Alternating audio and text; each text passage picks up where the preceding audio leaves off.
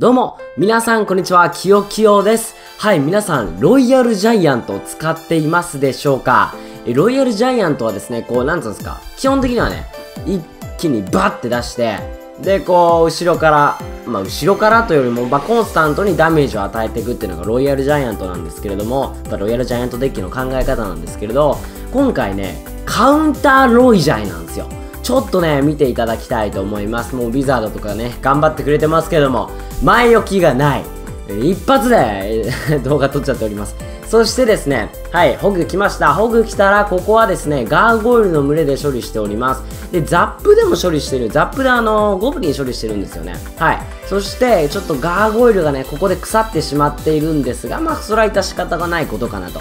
まあ、ここで相当ね、相手がザップでこう、なんていうんですかね、範囲的ダメージを与えてきたので、これはしょうがないかなと。さあ、また相手、ミニペッカを展開してまいりました。ここはですね、えー、バーバリアンで囲みつつ、相手もここ絶妙なタイミングでですね、ファイアボール出してきているので、ガーゴイルの攻撃が数回入るんですよ。これも相手非常にうまいなというふうに思いました。まだまだカウンターロイジャイ。まだですよ。まだ始まっておりません。ね。カウンターライジュ、ここからでございますよ。エリクサーポンプでどんどん溜めつつですね、やっぱバルキリーを入れる理由としては、あのー、バーバリアンで囲ってくる方が非常に多いんですよ。で、このように今もですね、すごい機能してましたよね。はい。そしてエリクサー見てください。今、相手3しかないです。3しかない状態で、こちら相当エリクサーアドバンテージが今ありましたね。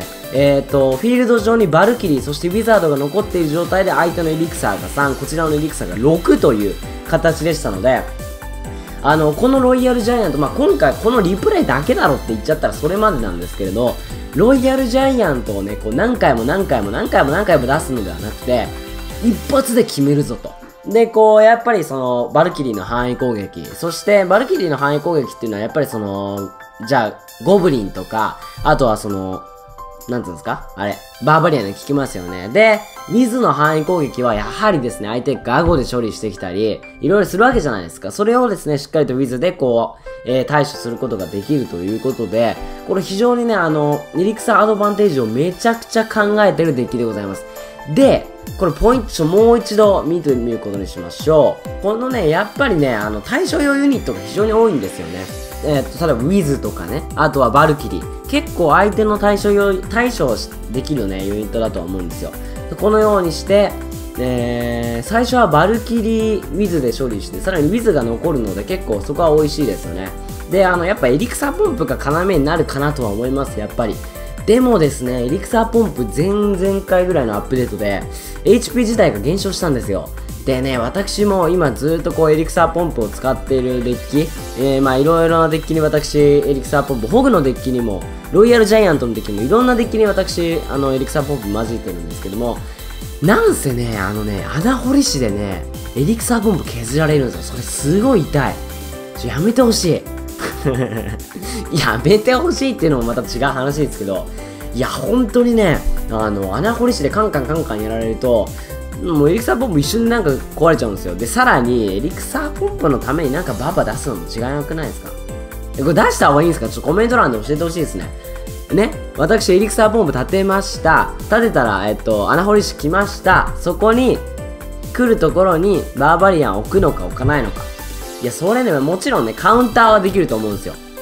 穴掘り師3コストを削りつつ、カウンターはできると思うんですけどもね、ちょっとね、どれが正解なのかがわからない。さあ、ここで先ほどの問題のシーンです。問題のシーンというか、やっぱりカウンターって強いんですよ。どの世界でも。どの世界っていうか、クラロワの世界なんですけど、あの、やっぱ、あの、ホグとか、相手がホグとか使ってきたり、あと相手がロイジャイ使ってきたりすると、こう、バルキリーとか、ウィズで、相手のエリクサ、相手のね、カードを削りつつ攻撃に加勢できるんで、やっぱカウンターデッキって強いんですよ。しかし、カウンターデッキの一つ難点といたしましては、相手の攻撃を待たなくちゃいけないんですよね。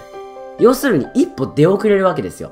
ね、なので、もしうまーくカウンターができなかった場合、本当に、致命傷になってしまうのが、ちょっとカウンターデッキなんですよね。なので、相手のデッキを見極める。で、こう、いつ出すのか。ね。2年前ぐらいでした今でしょみたいな感じきますけど、いつ出すのかっていうのが重要なので皆さんそこをちょっと注目してみてはいかがでしょうか。ということで今回はカウンターデッキの紹介でした。これ結構あの無課金でも使える戦術なのかなと思いますので、えー、考え方、使い方をですね、ぜひとも学んで、えー、応用してみてください。ということでご視聴ありがとうございました。問題です。戦艦ヤマトとシナノは次のうちどれどれですかね？考えてください。正解はこちら。